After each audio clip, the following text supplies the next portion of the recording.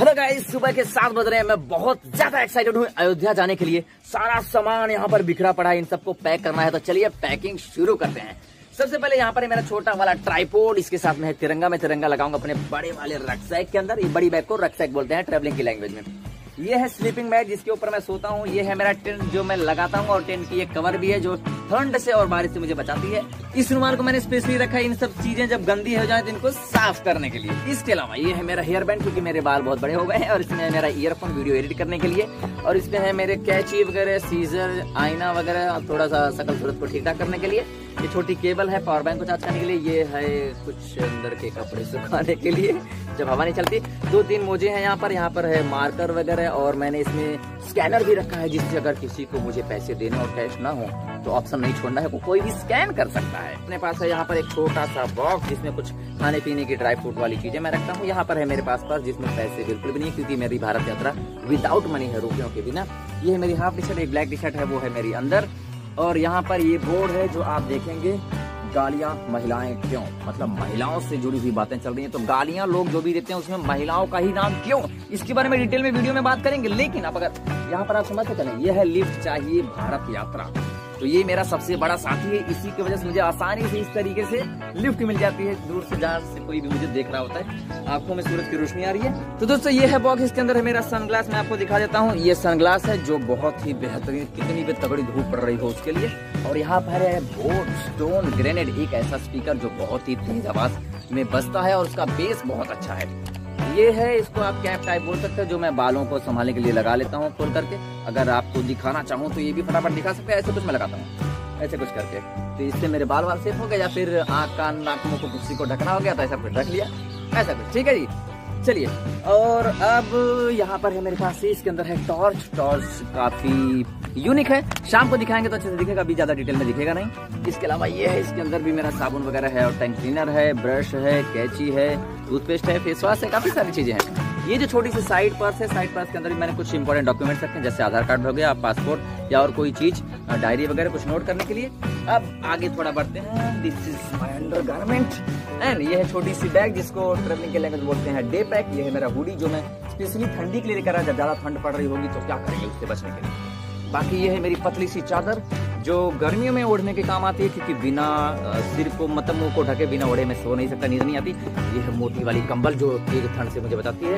अब सारा कुछ सामान मैंने लगभग लगभग बता दिया। अब चलते हैं, शुरू करते हैं पैकिंग सो गए सबसे पहले रखेंगे कंबल, क्योंकि कंबल की ज़रूरत अभी नहीं है। ठंड चली गई, गर्मी बहुत ज़्यादा है। पर इसको लेकर आए तो मुंबई वापस से लेकर के जाना है।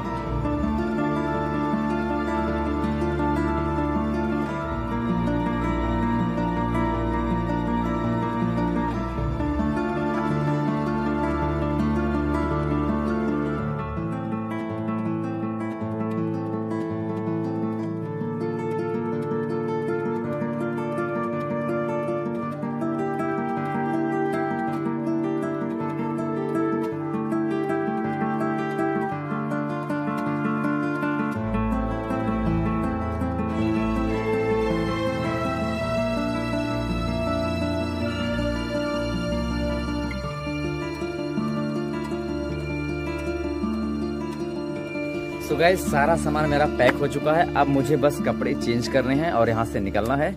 ये वीडियो में बस इतना ही। वीडियो पसंद आई तो लाइक शेयर एंड सब्सक्राइब